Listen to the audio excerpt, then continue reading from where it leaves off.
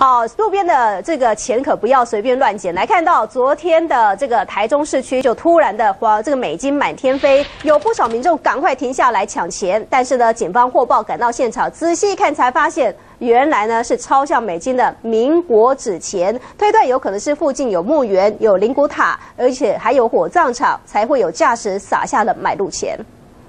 大马路上怎么会有一大叠的美金飞呀飞的？路过人看到眼睛直发亮，难道是台中出现散财童子吗？走近一点瞧个清楚，原来这是流通在阴间的冥纸。对，我去经过那边很多啊，很多。停下来看一下。对呀。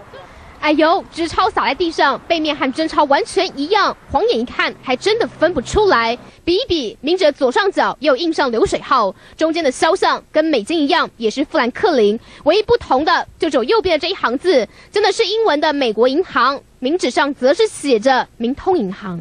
那我要出来的时候，我是要过来这边，咦，地上怎么有一张那个美金？我把它捡起来而已，然后丢到垃圾桶。真的就对了。没有，不是，我知道是假的。这位太太一出门看到，觉得实在很触眉头。大白天市区里怎么会出现冥纸？原来这条路的附近不只有灵骨塔，还有大肚山的公墓，旁边有个火葬场。可能是因为地点太敏感了，才会有人撒俗称的买路钱。你总是说东大路那边呢，有人打电话进去啊，说那边有人撒美金啊？对吧？说银行的啦。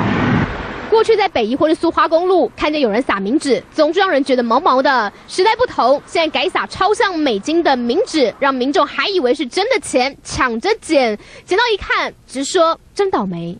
专线公益的方品文台中采访报道。